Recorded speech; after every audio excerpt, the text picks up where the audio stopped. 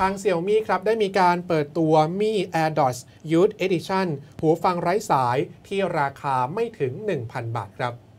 เรียกได้ว่าเป็นการเขย่าวงการหูฟังแบบไร้สาย หรือ Truly Wireless Headset อีกครั้งหนึ่งนะครับ เมื่อทางเซี่ยมี่ได้เปิดตัวมี AirDots Youth Edition ที่มีหน้าตาขาวใสสะอาดบริสุทธิ์ ด้วยราคา 200 หยวน หรือประมาณ 949 บาทครับ โดยหน้าตาอาจจะไม่ได้แตกต่างจากหูฟังไร้สายทั่ว ๆ ไป แม้ว่ารูปทรงจะไม่เหมือน AirPods ของทาง Apple ก็ตาม แต่ด้วยน้ำหนักที่เบาเพียง 42 กรัมนะครับ แต่ความสามารถนอกจากที่จะควบคุมเครื่องเล่นเพลงได้แล้ว ก็ยังสามารถคุยสายสนทนา ใช้ระบบผู้ช่วยอัจฉริยะได้เช่นเดียวกันครับ อีกทั้งยังรองรับบลูทูธ 5.0 ทำให้สามารถใช้งานได้ยาวนานถึง 4 ชั่วโมง และแท่นชาร์จ รองรับการใช้งานได้สูงสุด 12 ชั่วโมงด้วยกันครับ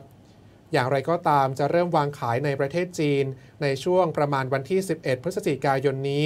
และคาดว่าจะเผยโฉมในประเทศอังกฤษ วันเดียวกับที่จำหน่ายมี่ 8 Pro ส่วนเมืองไทยนั้นนะครับ คงต้องลุ้นกันต่อไปว่าจะนำเข้ามาจำหน่ายด้วยหรือไม่ครับ